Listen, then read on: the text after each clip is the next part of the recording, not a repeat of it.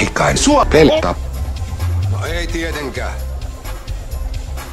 Hei, En mä mitään tilan.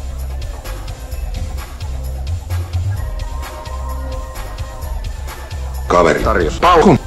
Et kai sä nyt aio juoda sitä. Totta helvetis mä. Kun ilmaiseksi saa. Ties vaikka joutuisit maksaa sen takas luotossa. Älä nyt hikeenny. No ei. Tämmöisistä vanhasta ismoista välitä. Hei! Haluatko lähteä joraan? Haluut sä turpaas? Sori. No. Hauskaa iltaa.